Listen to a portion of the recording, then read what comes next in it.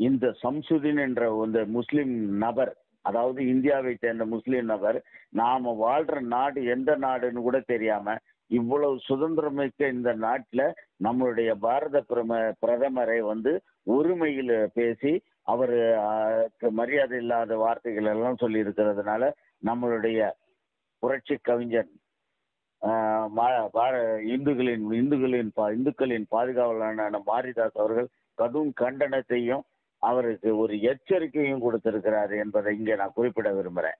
அதாவது இனி இந்தியாவில் இருந்த எந்த நபரும் தனிப்பட்ட அதாவது இந்த மதத்தை முன்னிறுத்தி தயவு செய்து யாரும் பேசக்கூடாது என்பது மாரிதாசினுடைய ஒரு வலிமையான கருத்தா இங்கே கருதப்படுகிறது. ஓகே. தாலிபான் ஆப்கானிஸ்தான்ல இப்ப நடக்கிற வந்து ஒரு நிகழ்வு தற்காலிக நிகழ்வு வந்து தாலிபான். தாலிபான் என்னும்போது இப்போ உலகமே உற்று பார்த்து கொண்டிருக்கிறது. ஆனால் இந்த தாலிபான் ஒன் வந்து ஒரு தீவிரவாதிங்கன்றது எல்லாருக்குமே தெரியும். அவர்கள் அந்த நாட்டு உள்நாட்டு தீவிரவாதி தான்.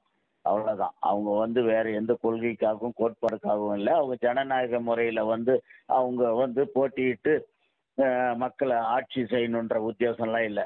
அவங்க எழு கலாச்சாரமே வன்முறை கலாச்சாரம். அவங்க துப்பாக்கியோட பேசினா சுட்டுறது தான் இதுக்கு உதாரணம் வந்து நேற்று கூட ஒரு ஆப்கானிஸ்தான் கொடியை ஏத்துனாங்க. ஆப்கானிஸ்தான் கொடியை ஏத்துனதுக்கு நேற்று ரெண்டு பேரை சுட்டாங்க டவுன்லயே. அந்த மாதிரி ரெண்டாவது இவங்க வந்து ந- நம்ம நாட்டில் உள்ள முஸ்லீம்கள் வந்து நிறைய பேர் இந்த அமீர் போன ஆளுகள் வடநாட்டில் கூட இப்போ சம்சுதீன் அப்துல்லான்னு யாரோ ஒருத்தர் வீடு போட்டிருந்திருக்கிறாரு. அதாவது தாலிபான்களை வந்து ஒரு பெரிய தியாகி மாதிரியே காட்டிக்கிட்டு இருக்கிறாரு. அவங்க வந்து அவ்வளோ நல்லவங்க பெண்களை மதிக்கக்கூடியவங்க அவங்க வந்து ஒரு சின்ன உயிர்களுக்கு கூட தீங்கு செய்ய மாட்டாங்க. அவங்க அப்படி இப்படின்னு சம்பந்தமே இல்லாம அதாவது ஒரு பெரிய கொலகாரனை பிடிச்சி கொண்டாந்து வச்சு அதாவது பயங்கரமான கொலகாரனை வந்து இவன் நல்லவன் இவன் ரொம்ப மனசாட்சி உள்ளவன் இறக்க குணம் உள்ளவன் சொல்ற மாதிரி இருக்கு. அந்த மாதிரி குழந்தைங்களையே தொண்ணூறு குழந்தைங்களை முஸ்லீம் குழந்தைங்களே முஸ்லீம் பிள்ளைகளே படிக்கக்கூடிய பள்ளிக்கூடத்துல பாம்பு வச்சு தொண்ணூறு குழந்தைகளை கொன்னு குவிச்சிருக்காங்க போன மாசம். எதிர்த்து கேட்டா எல்லாத்தையும் சுட்டு தள்ளக்கூடிய ஒரு மனோபா மனோபாவத்துல இருக்கிறாங்க. இவர்கள் வந்து அமெரிக்க வீரர்களையே வெ- வென்று என்று சொல்லி இங்க இருக்கிற இளைஞர்கள் முஸ்லீம் இளைஞர்களுக்கு வந்து ஒரு ஏதோ ஒரு நேதாஜி சுபாஷ் சந்திர போஸை போல ஒரு வரலாற்று சிறப்பு மிக்க தலைவருங்களை சொல்ற மாதிரி சொல்றாங்க. தயவு செய்து இந்தியாவில் இருக்கிற முஸ்லீம் இளைஞர்கள் யாரும் இதை நம்பாதீங்க. இது வந்து முழுக்க முழுக்க ஒரு ஒரு இட்டுக்கட்ட ஒரு கட்டுக்கதை. இது எப்படின்னா சும்மா இந்த அதாவது அவர்களை அப்படியே தூண்டி ஒரு கொதிப்பு நிலையில கொண்டு போறது. அதாவது நம்மளுடைய மதத்தை மட்டுமே சார்பா இருக்கிறது. அதனால இது வந்து ஒரு கம்ப்ளீட்டா இது வந்து தாலிபான் அப்படின்னு சொன்னாவே உலகத்துக்கே தெரியும். இது எப்பேற்பட்ட ஆட்சி நடக்குது. சரியத்து லான்னு சொல்லி இஸ்லாமிய சட்டம்னு சொல்றாங்க. இருபது ஆண்டுகளுக்கு மறுபடியும் பின்னோக்கி கொண்டு போறாங்க. ஒரு உதாரணம் மட்டும் சொல்றேன். அதாவது இவர்களுடைய ஆட்சி இவருங்க வந்து தலிபான் உண்மையிலே ஒரு சந்தோஷமான இவர்கள் இந்த நாட்டை பிடிச்சிட்டாங்கன்னா மக்கள் எல்லாம் ஸ்வீட்டு கொடுத்து கோலாகலமா உற்சாகமா கொண்டாடி இருக்கணும். ஆனா என்ன செஞ்சாங்க? தாலிபானுங்கள் பிடிச்சிட்டாங்கன்னு சொன்னோன்னே நம்மளுடைய உயிருக்கு உத்தரவாதம் இல்லைன்னு சொல்லி நின்றுகிட்டு இருக்கிற ஏரோப்ளைன்ல போய் சக்கரத்தை பிடிச்சி தொங்கிக்கிட்டு போய் மேலிருந்து விழுந்து சாவறான். தன்னுடைய உயிர் பயம் எப்பேற்பட்ட பயம் உயிர் பயம்னா அந்த அளவுக்கு மோசமான ஒரு பயங்கரமான ஒரு நிலைமையை கொண்டு வருவாங்கன்னு சொன்னாங்க.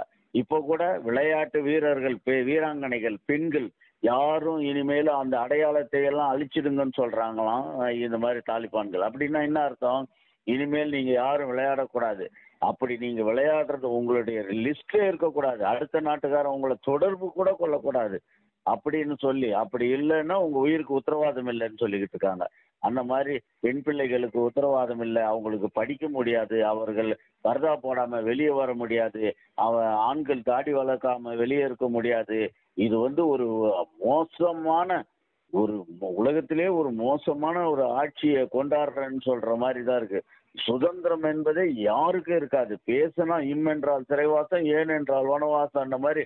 இவங்கெல்லாம் வனவாசம் சிறைவாசம் கூட கிடையாது. ஒரேதா சுட்டு தள்ளுறது தான் ஒரு செகண்டுக்கு அவன் உயிர். உயிருக்கு எல்லாம் அங்க மரியாதையே இருக்காது.